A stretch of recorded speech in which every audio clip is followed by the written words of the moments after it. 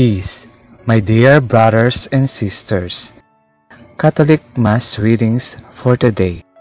April 19, 2021, Monday of the third week of Easter. First reading from the Acts of the Apostles. Stephen, filled with grace and power, was working great wonders and signs among the people. Certain members of the so-called synagogue of freedmen, Cyrenians, and Alexandrians, and people from Cilicia and Asia came forward and debated with Stephen, but they could not withstand the wisdom and the spirit with which he spoke. Then they instigated some men to say, We have heard him speaking blasphemous words against Moses and God. They stirred up the people, the elders, and the scribes, accosted him, seized him, and brought him before the Sanhedrin.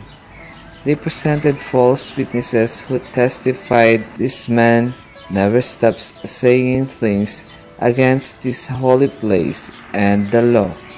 For we have heard him claim that this Jesus the Nazarene will destroy this place and change the customs that Moses handed down to us.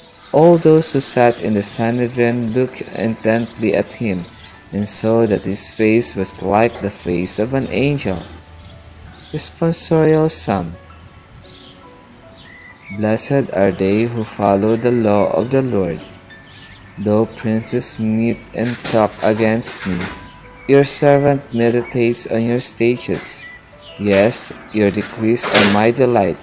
They are my counselors. Blessed are they who follow the law of the Lord. I declared my ways, and you answered me. Teach me your statutes.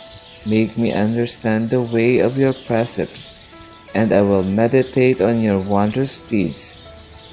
Blessed are they who follow the law of the Lord. Remove from me the way of falsehood, and favor me with your law. The way of truth I have chosen. I have set your ordinances before me. Blessed are they who follow the law of the Lord. Alleluia, according to St. Matthew.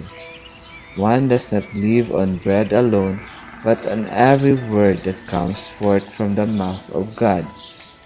A reading from the Holy Gospel according to St. John. The next day, the crowd that remained across the sea saw that there had been only one boat there, and that Jesus had not gone along with his disciples in the boat, but only his disciples had left.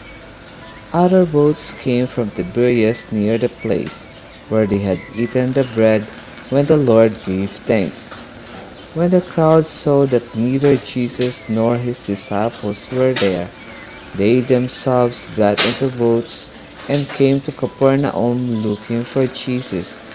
And when they found him across the sea, they said to him, Rabbi, when did you get here? Jesus answered them and said, Amen, Amen, I say to you, you are looking for me not because you saw signs, but because you ate the loaves and were filled. Do not work for food that perishes, but for the food that endures for eternal life, which the Son of Man will give you, for on him the Father God has set his seal.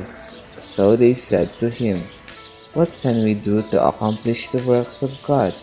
Jesus answered and said to them, This is the work of God, that you believe in the one he sent. The word of the Lord.